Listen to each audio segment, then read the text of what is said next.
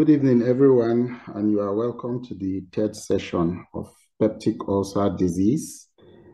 We will be talking on the management of peptic ulcer disease, the treatment, both the medical and the surgical treatment for peptic ulcer disease. As we mentioned earlier, this is a very important aspect of the lecture because peptic ulcer disease is common and is expected for every physician should be able to manage peptic ulcer disease. When they present as an emergency, what to do uh, to give an immediate relief and how to follow up the subsequent management of the patient. So today we will talk on the medical treatment as well as the surgical treatment for peptic ulcer disease. Now, we should all know that the initial treatment for peptic ulcer disease is medical treatment. And of course, because of the success that is attained from medical treatment, surgery is rarely done for any patient with peptic ulcer disease because of the efficacy of the drug in acid suppression as well as elimination of Helicobacter pylori infection. Surgery are rarely done except for cases of complication, which we will see shortly. Now, the general principles for treating peptic ulcer disease is one, to reduce the acid suppression by using proton pump inhibitors or H2 receptor blockers. Two, to create protective covering of the mucosa, okay, to pro protect the mucosal surface to prevent peptic damage by acid and pepsin. To eliminate H. pylori infection. Discourage lifestyle behavior like alcohol and cigarette smoking that promote ulceration. Avoid the usage of non-steroidal anti-inflammatory drugs or mitigate their effects with PPI if they must be used. You should know that behind every treatment, the principles for such treatment will make you achieve a successful outcome in the management. If, for example, there is a risk factor present and it is not eliminated, and you kept on treating that patient, the symptoms will persist. You won't be able to treat the patient. For example, he has a lifestyle that is a precipitant for hyperacidity and ulceration. He consumes a lot of alcohol, and you kept on treating the ulcer without eliminating such, you know your treatment won't be successful. Or it's a patient that abuses NSAIDs and you kept on treating, of course, your treatment will not be successful. So in the history, you have to carefully look out for such precipitants so that you achieve a successful outcome within the expected duration you are supposed to uh, treat the patient. The PPIs are for acid suppressions, while the other two are antibiotics, which are used for the elimination of Helicobacter pylori. Now, the proton pump inhibitor, omeprazole, pantoprazole, are given in 7 to 14 days. Okay, they are given BD for 7 to 14 days. Then the antibiotics combination, there are various types of antibiotics you may combine in this regimen. You could use amoxicillin, 1 gram BD for 7 to 14 days, and clarithromycin, 500 milligrams BD for 7 to 14 days. You could combine a proton pump inhibitor with metronidazole or clarithromycin. Or you could even use a levofloxacin-based triple therapy where the metronidazole is replaced with levofloxacin. Now, for the quadruple therapy, in addition, You could call this the second line treatment in case after the first line treatment using the triple therapy, you completed the treatment and yet there's persistence of symptoms. You might want to change to a quadruple therapy where you add a bismuth subsalicylate. You remember we mentioned among the principle is to protect the mucosal surface from excessive peptic action. Now you use bismuth to protect uh, the mucosal surface. And this treatment, these combinations are given for up to 14 days. The proton pump inhibitors is continued for 10 days in the sequential treatment. Then amoxicillin, one gram, is given for the first five days, along with the PPI. This is then followed with clarithromycin and metronidazole, 500 milligrams each BD for the next five days. So throughout the sequential therapy, patient will be on proton pump inhibitor, while the antibiotics are actually splitted in the first five days, then the next five days.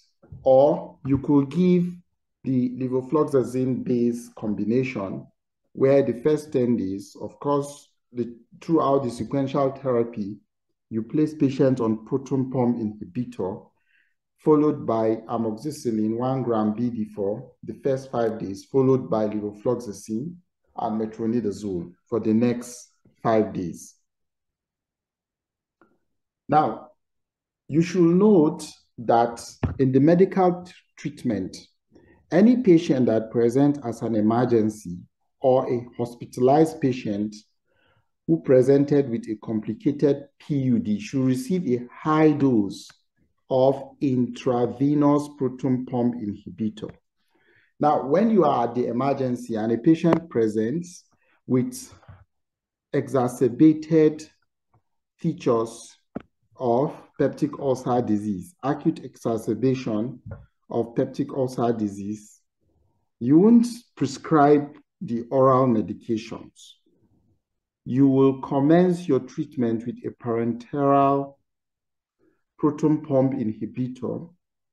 When patient is discharged, then you now place the patient on oral treatment. And you should also note that if H. pylori testing is treat, uh, tested negative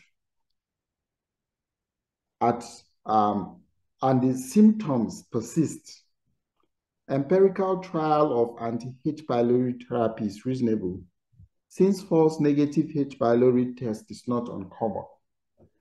Now, you might, patient might have dyspeptic symptoms and he presents after testing for H. pylori and it turns out to be negative, you still have to try the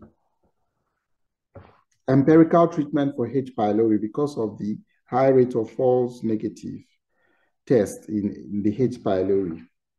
And even after the treatment, testing for H. pylori should be repeated four weeks after cessation of the treatment.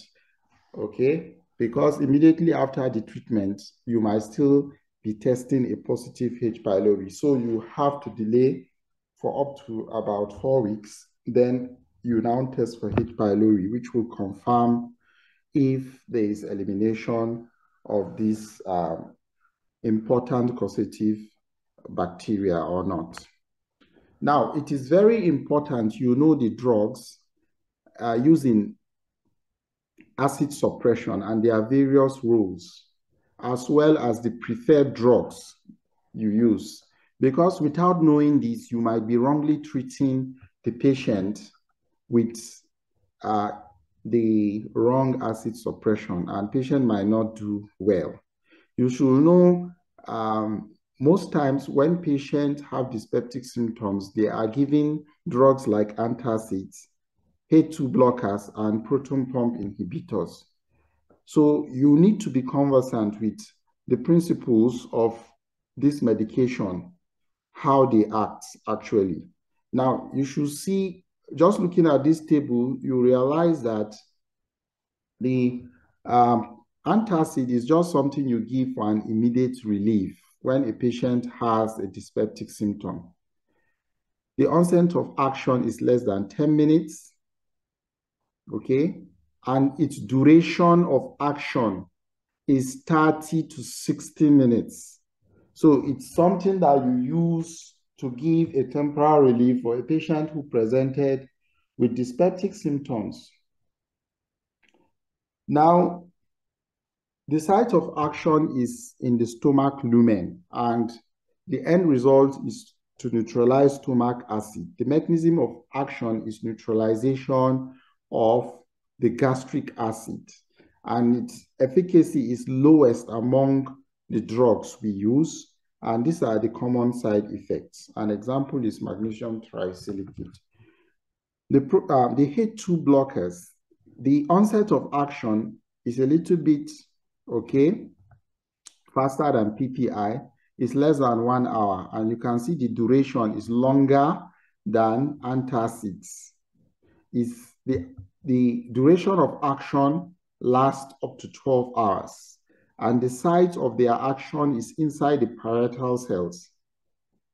And the end result is suppression of gastric acid secretion. And the mechanism of action is they block the H2 receptors. That is the histamine receptors. We've discussed the pathophysiology of this in the previous lectures. And its efficacy, you can see, is more than that of the antacids, but less than the proton pump inhibitors. And these are the common side effects they may have. An example is ranitidine.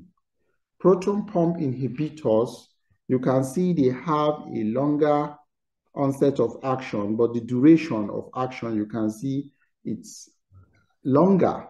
So the, the onset of action might be up to two days, two to three days. But when it start acting, it acts for a very uh, a longer duration compared to other classes of drugs. You can see the duration of action is one to two days, and the size of action is, okay, at the parietal cells.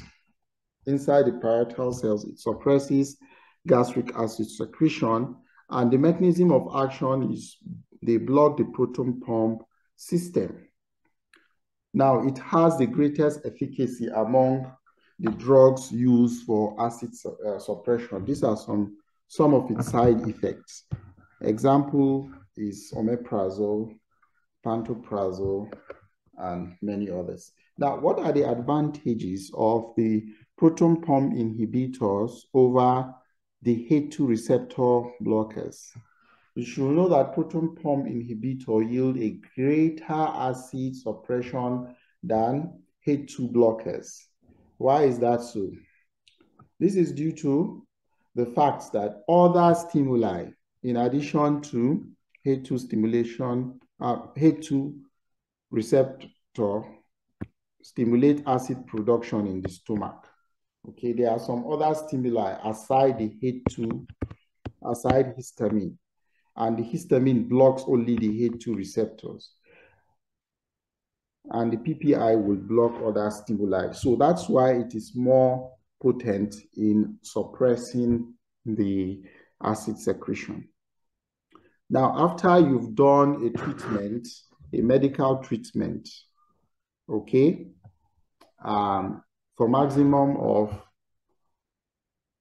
um, you completed the first two weeks, followed by a sequential therapy, and patients still present with symptoms, okay?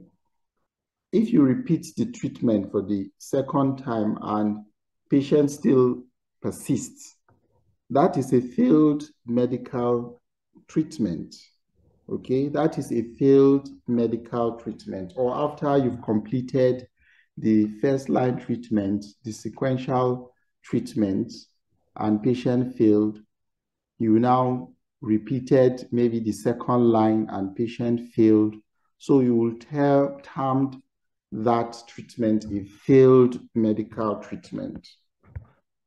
Now, the surgical treatment for peptic ulcer disease. What are the indications for surgery? When there is a refractory ulcer, two, a massive bleeding not responding to endoscopic treatment because the first um, line treatment for upper GI bleeding from peptic ulcer disease is endoscopic um, treatment. However, if there's failed endoscopic treatment because of massive bleeding, you cannot visualize the site of the bleeding endoscopy might fail, or even after you arrest the bleeding endoscopically, and within 24 hours, there's another massive bleeding. You can term that as a massive bleeding that is not responding to endoscopic treatment. When there is perforation, when the ulcer perforates, they will present with generalized peritonitis. And of course, you need to do an exploratory laparotomy and um, repair the site of perforation, okay, suction and lavage peritoneal cavity. When there's a gastric outlet obstruction, you also do surgery. Now, the aim of your surgery for peptic ulcer disease is to reduce gastric acid output permanently because a duodenal ulcer heals if the gastric secretion.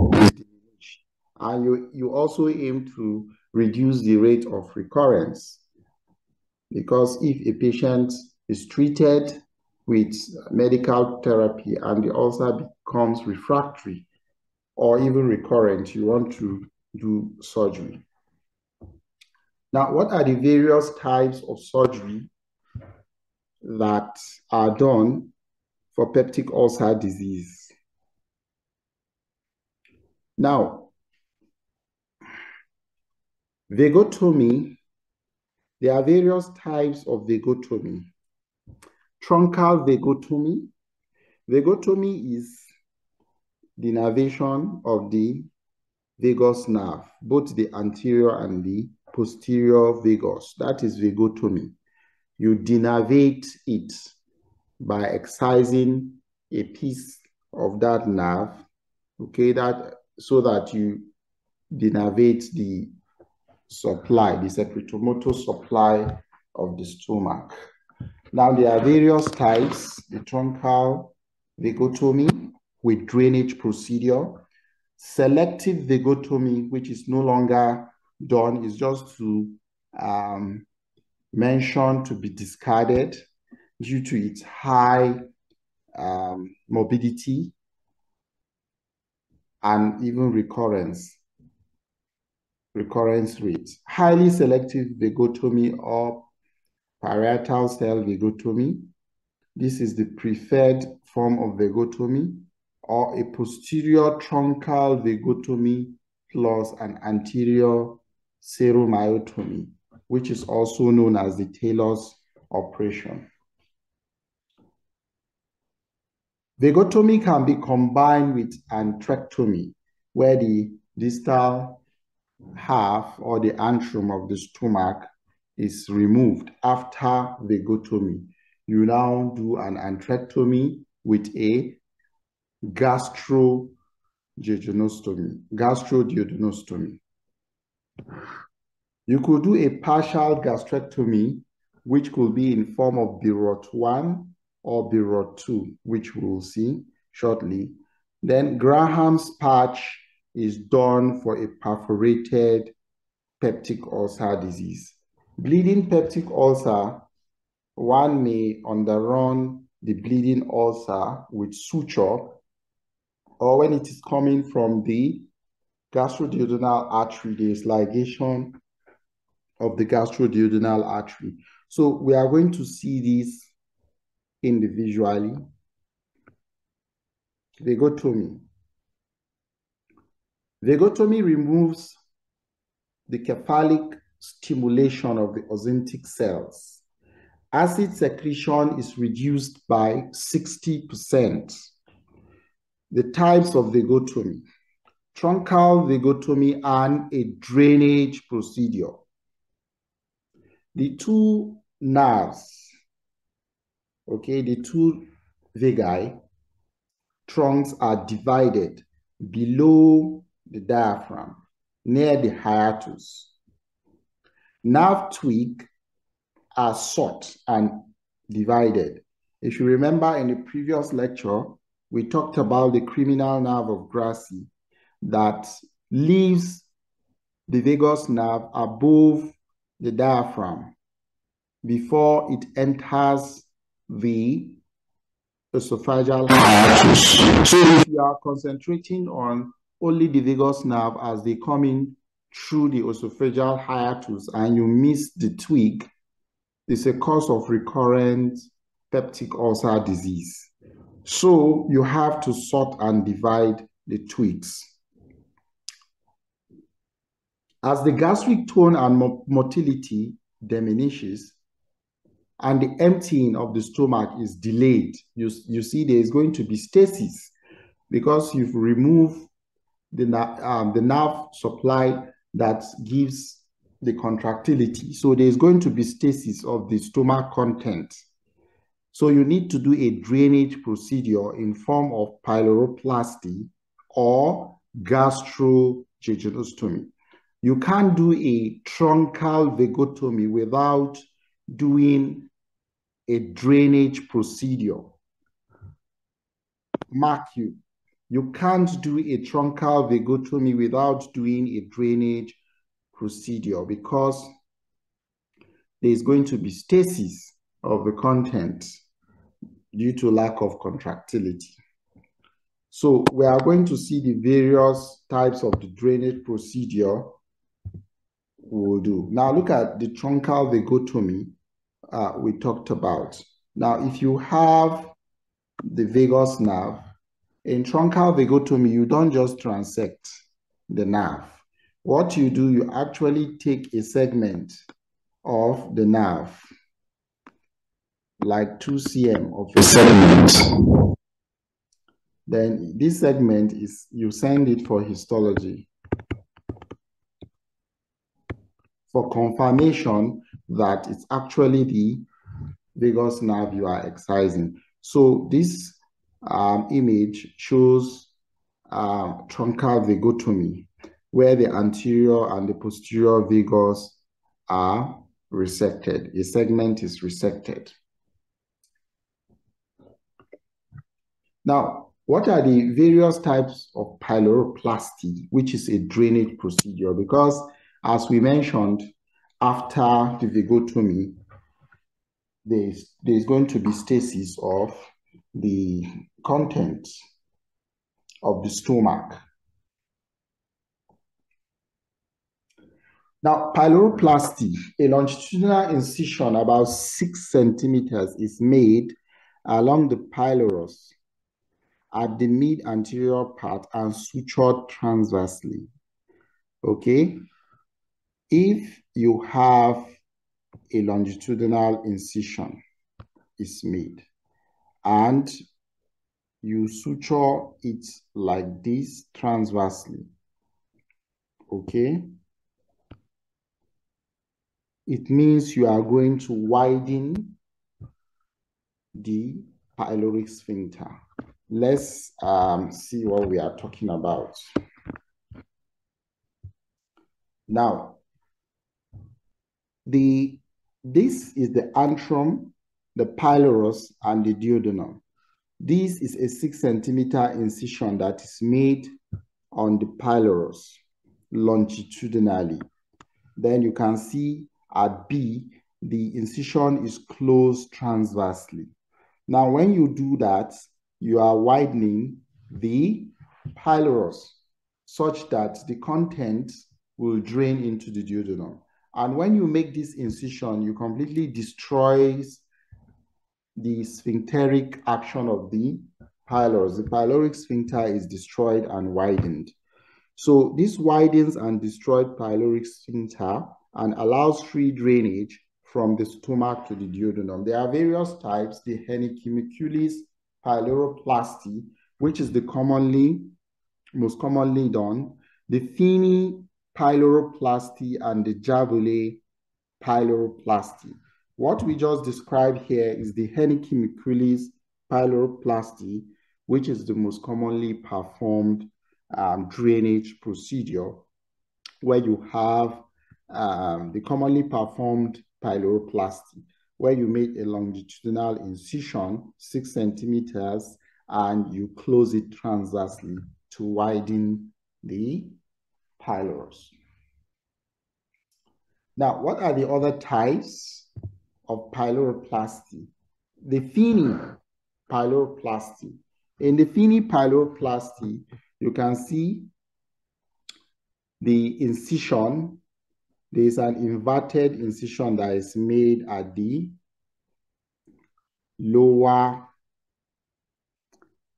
end of the stomach and duodenum.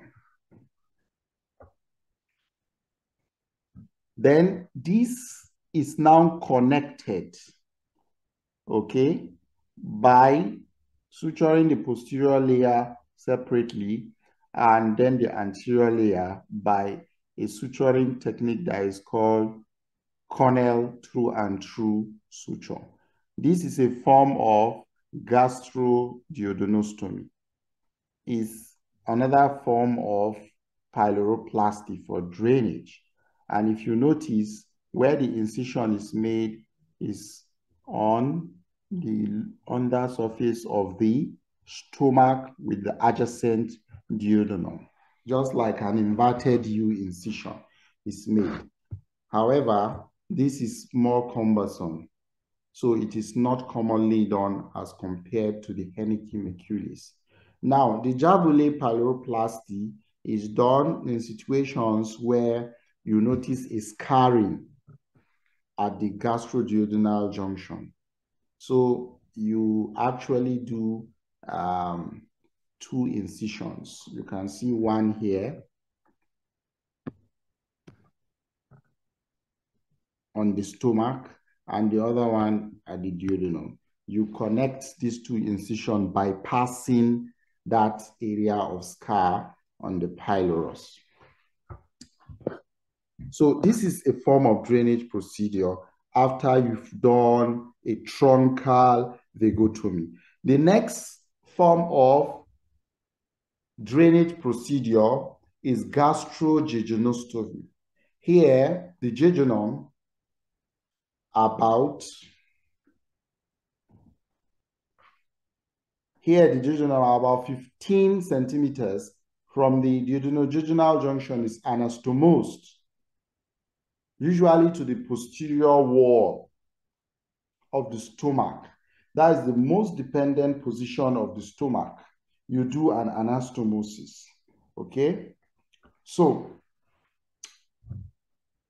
now this is done retrocolic behind the transverse colon for physiologic drainage.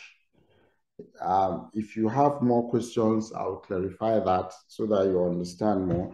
It's a good choice for severely diseased duodenum or in gastric outlet obstruction.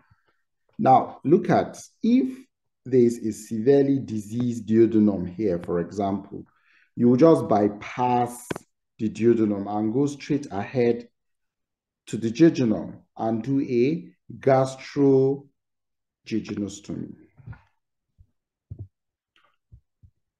So most of the time we prefer to do a gastrojejunostomy compared to pyloroplasty. So you just go to the dependent part of the stomach, the posterior wall of the stomach, and get a loop of jejunum, bring it through the mesentery of the transverse colon. So it's going to be retrocolic so that there is going to be physiologic, it's the drainage is going to be more uh, in the more dependent position.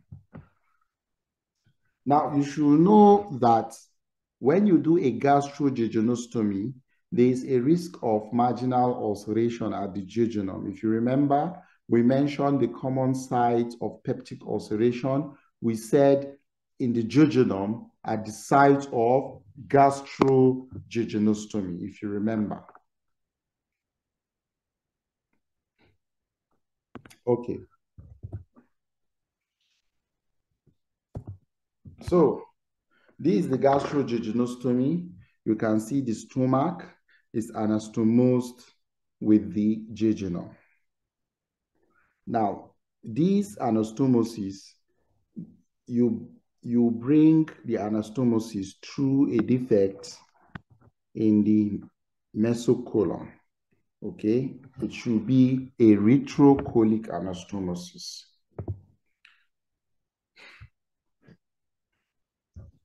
Now, we've talked about the first type of vagotomy, which is vagotomy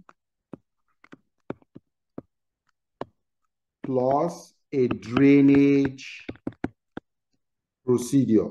And this drainage could either be pyloroplasty or gastrojejunostomy. Now, another type of vagotomy is the selective vagotomy. I told you that this is no longer done. It's just to be mentioned, to be discarded. But of course, you need to know what it means. Vagotomy with sparing of the hepatic branch of the anterior vagus and the celiac branch of the posterior vagus. This will not reduce secretions. And of course, the drainage procedure is performed because of stasis. It is time consuming and it's associated with more morbidity and mortality. So it has been abandoned. And the recurrence rate is about 10%. Now, the highly selective vagotomy is the preferred type of vagotomy. The highly selective vagotomy is also called the parietal cell vagotomy. What does it do? It aims at denervating only the acid-producing oxyntic gland, sparing nerve to the pyloric antrum, which is called the nerve of Latarjet, such that drainage procedure is not required. So here,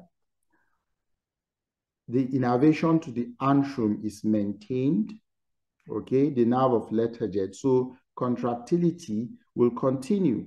So you don't need a drainage procedure. You just denervate the parietal cells.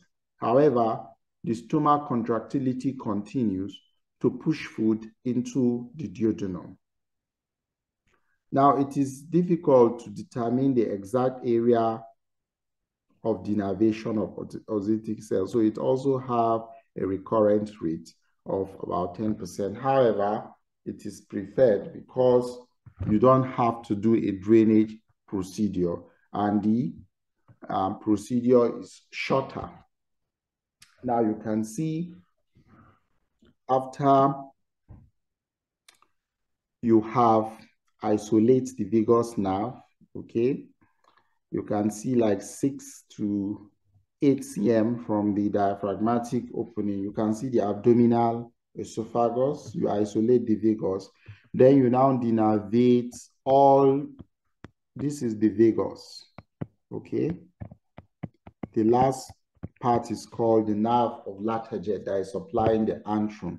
But all these branches that are supplying the body are divided, they are incised so that the parietal cells are denervated. They don't secrete acid. However, the contraction of the antrum is maintained and hence you don't need a drainage procedure.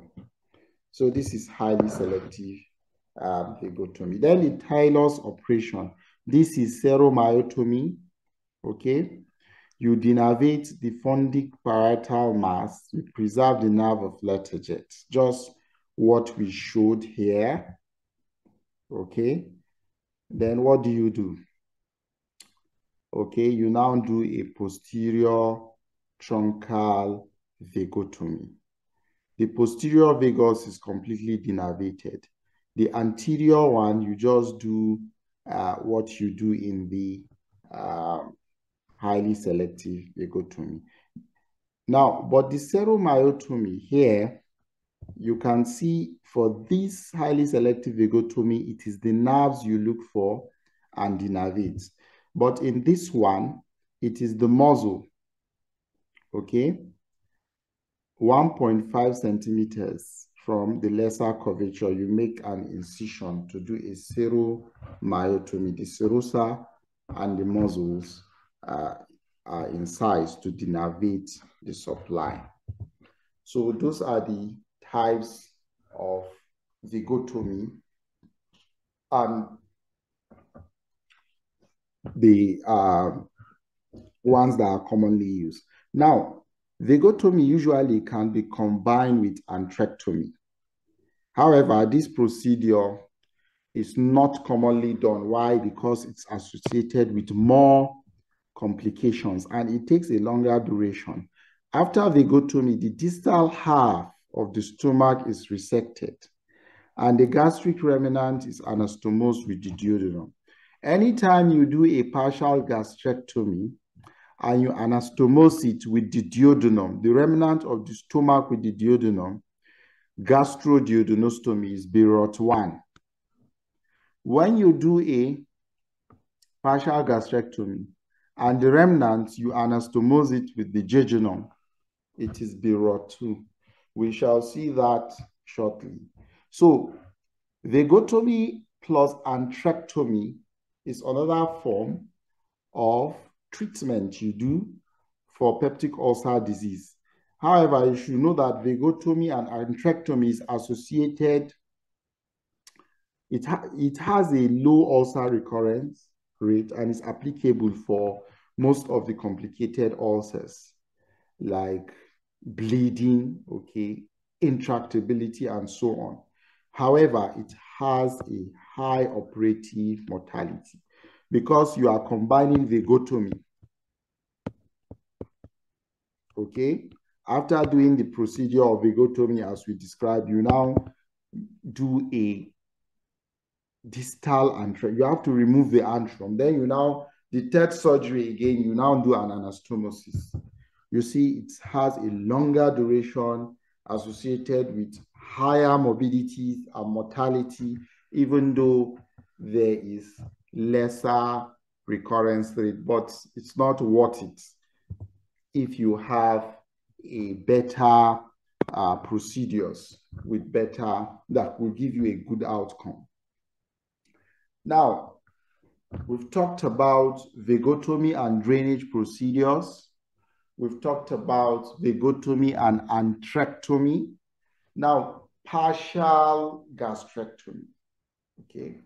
Now, for this, if you remember, in antrectomy, we said you remove uh, the distal half of the stomach or the antrum of the stomach. In partial gastrectomy, you are removing up to two-thirds. Okay? You are removing two-thirds to three-fourth, three-quarter of the distal stomach. Then you now resect the remnant with either the duodenum or the jejunum. So when you do partial gastrectomy with end-to-end gastroduodenostomy, that is called Billroth 1. It is done for gastric ulcer. Let me demonstrate that for you with an image so that you understand clearly. Okay, if this is the stomach,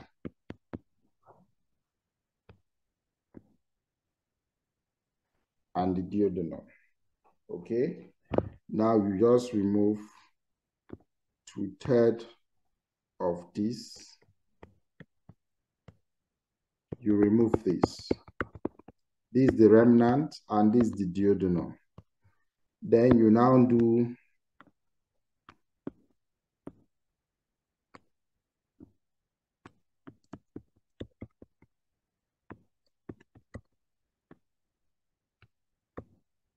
you do a gastroduodenostomy.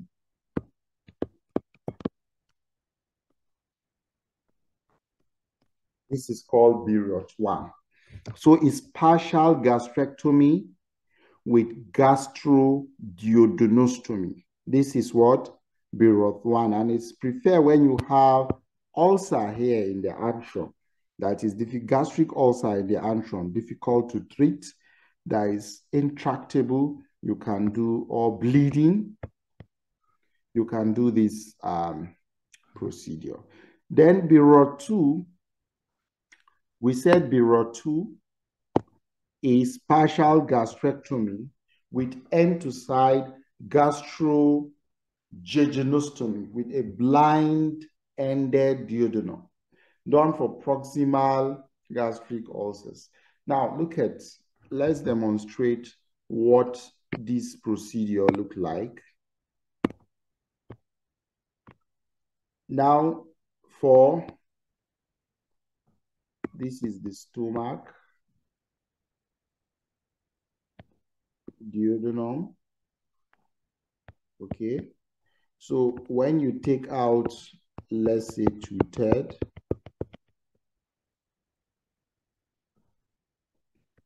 because this end, there will be a blinded end, you have remnant of the stomach okay? You will bring a loop of jejunum and anastomose. Don't forget, the duodenum is still there. You have a blind end of the duodenum. This is called Billroth 2. So you do a partial gastrectomy with a gastrojejunostomy you have a blind-ended loop of duodenum. So this is Billroth 2 procedure. It is done, okay, also for peptic ulcer disease. Now, Graham's patch, okay, this is a procedure that is done for a perforated peptic ulcer disease. This perforation is commonly at the, at the antrum of the stomach, or they could be at the first part of the duodenum. So what you do for Graham's patch, if there is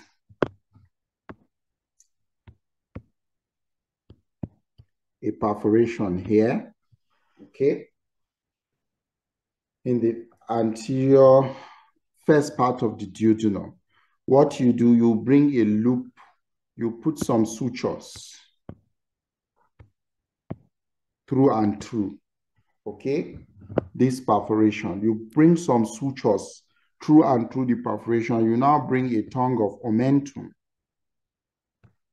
You place the omentum, okay? You remember the omentum, the policeman of the abdomen.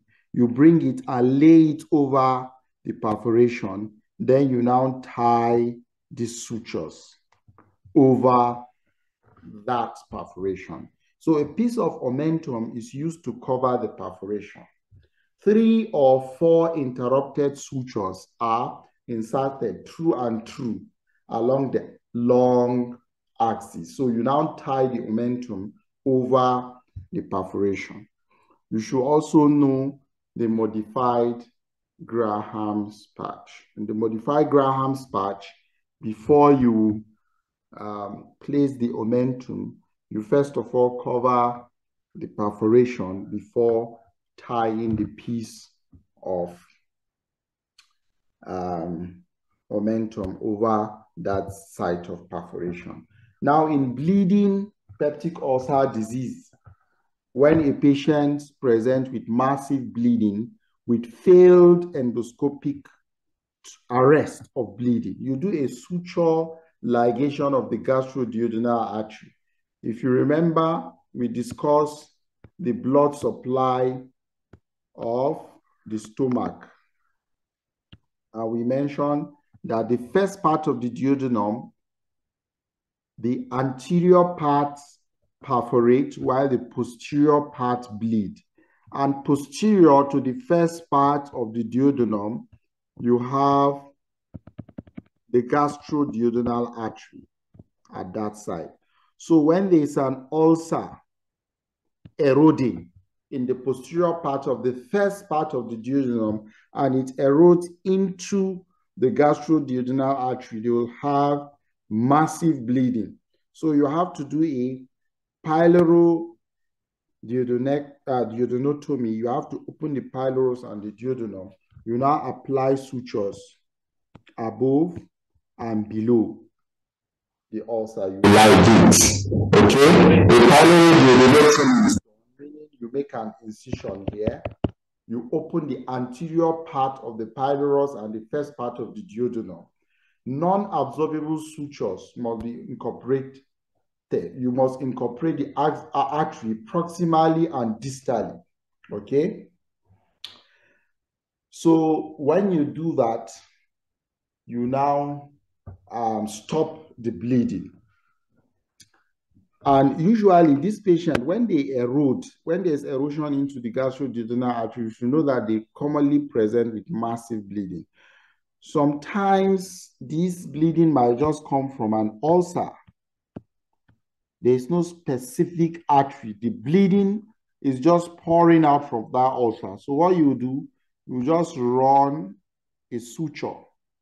Okay?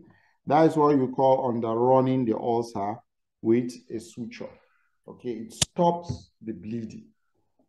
So those are the various forms of surgery you do for a complicated peptic ulcer disease. If you, uh, if we are to recap, we said you do a vagotomy.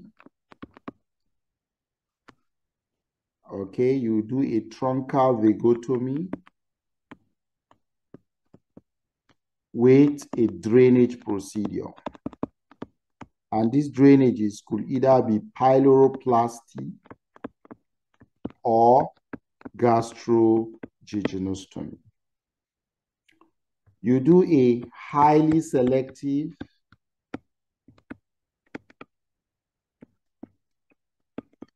highly selective vagotomy, which is the parietal cell vagotomy. You denervate innervation of the oxyntic cell of the um, body, preserving the nerve of Latarjet. The selective vagotomy is no longer done. Then the Taylor's procedure, which is posterior truncal vagotomy and anterior seromyotomy. The Taylor's procedure. Okay. So these are the various forms of vagotomy. We mentioned this vagotomy could be combined with antrectomy. We could also do a partial gastrectomy in form of either Billroth 1 or Billroth 2. Then we now mention the Graham's patch that is done for a perforated peptic ulcer disease. You could do the modified Graham's patch or just the Graham's patch. Then for a bleeding peptic ulcer, you could do a suture ligation of the gastroduodenal artery, or you could underrun the ulcer base with a suture. Now, these surgical options in the treatment of duodenal or uh, gastric ulcer, this table just summarize some various indications and some preferred procedures you um, can do uh, for the various indications. We mentioned the indications could be bleeding, perforation, um, obstruction, in form of GOO, then intractability or non-healing. And you can see this is in decreasing order of frequency.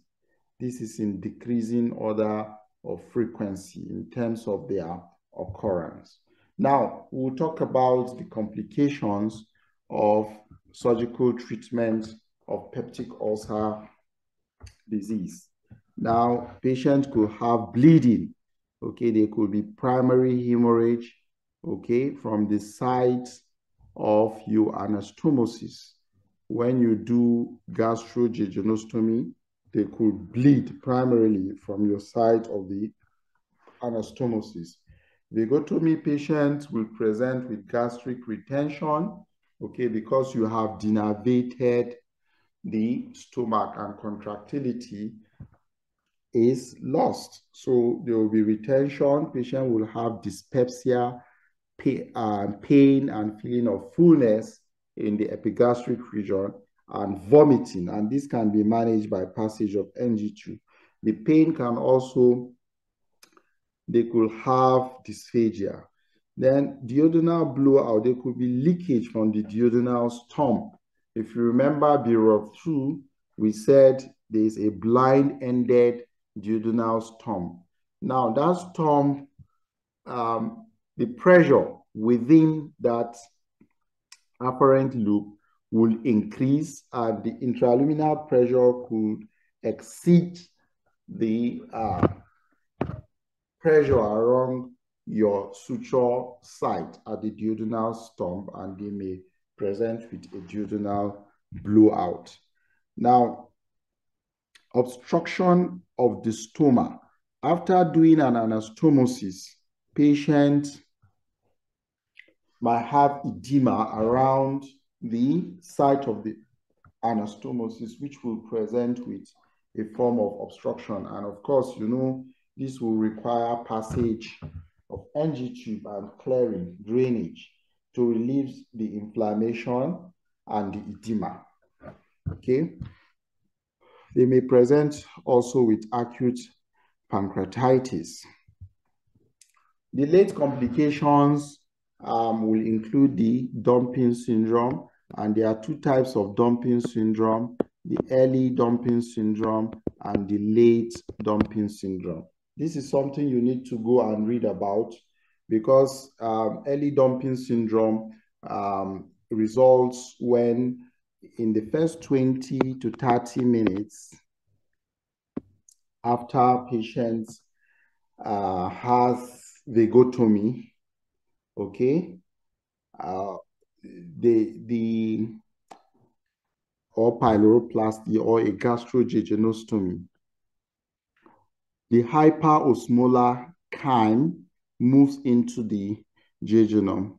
That hyperosmolarity will now um, a kind of uh, pull fluid into the lumen of the duodenum or the jejunum, and patient will present with um, hypovolemia, sweating, tachycardia, fainting, and all other features of um, hypoglycemia. So this occur within the first 20 minutes of um, feeding after um, gastrojejunostomy.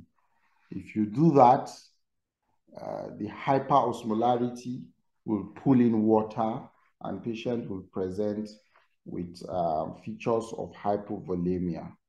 Okay, he will be sweating, fainting, palpitations. Okay, sometimes they may have diarrhea. So usually when you do vagotomy for patients, you don't, you give them small uh, frequent meals that are rich in protein and fat, okay, low in carbohydrate, because if you give them high carbohydrate, they will have hyperosmolarity and they take little or no water with meal. Now, in the late dumping syndrome, this usually occur like two to four hours after meal. It's a form of reactive hypoglycemia, reactive hypoglycemia that occurs like two to four hours after patient takes in meal and is um, profound hypoglycemia following release of insulin, large amount of insulin, and patient goes into hypoglycemia. And patient will have symptoms of dizziness, warm, sweating, trembling, And of course, when you do these procedures for patient, you should have um,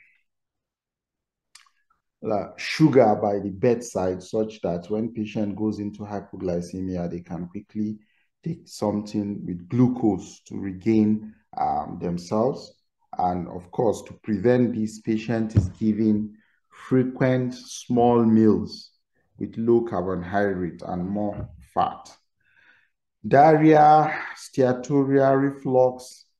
Now, patient with vagotomy, usually they have um, diarrhea or patient with pyloroplasty because you are reducing the sphincter mechanism of the pylorus. So the transit time will now increase. Sorry, the transit time will reduce because you have re removed the sphincter. So they will have diarrhea. Steatorrhea, fat absorption reduces. Uh, enterogastric reflux because of the stasis after vagotomy, recurrent ulceration. Usually the ulcer is at the site of the anastomosis. Iron deficiency anemia, when you do an antrectomy and you bypass the duodenum, you do a gastrojejunostomy because iron is absorbed in the duodenum. And of course, acid secretion is required for absorption of this iron you transected the antrum that produced majority of the acid and you bypass the duodenum, you could develop an iron deficiency anemia. Okay, risk of colorectal tumor because the bile secretion increases, secondary bile acid increases. We've discussed this risk factor in the lecture on colorectal cancer. Megaloblastic anemia can also be seen. You have osteomalacia, anastomotic ulcers, as we mentioned, uh, gastrojejunal fistula. All these are less complications. So uh, the prognosis, you should know the overall operative procedure gives satisfactory results in at least 80% of patients. Mortality of vagotomy and drainage is less than 1% okay?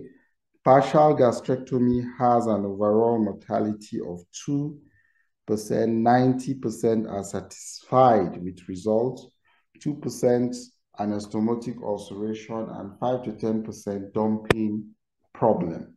And duodenal mortality, uh, operative mortality for perforation of duodenal uh, ulcer is up to 7%. So we are going to stop here. And um, if you have any questions, you can um, ask. In conclusion, peptic ulcer requires surgeries. Requiring surgeries are complicated and the patient presents as an emergency, which requires adequate resuscitation. Delay in presentation, diagnosis, and treatment increases morbidity and mortality. So um, if you have any questions, clarifications, uh, you can unmute yourself so that we discuss. Okay.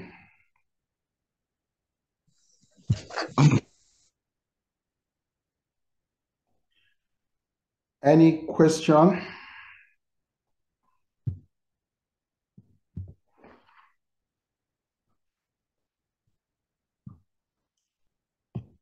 Okay, it appears we don't have any question.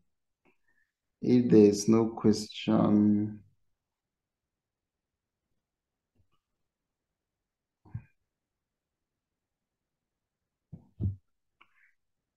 okay, if there is no any question, we are going to stop here. We have completed all our lectures on peptic ulcer disease.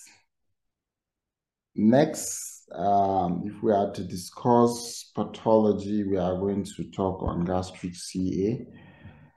But now for peptic ulcer disease, we've discussed all the aspects. So thank you all. We are going to stop here.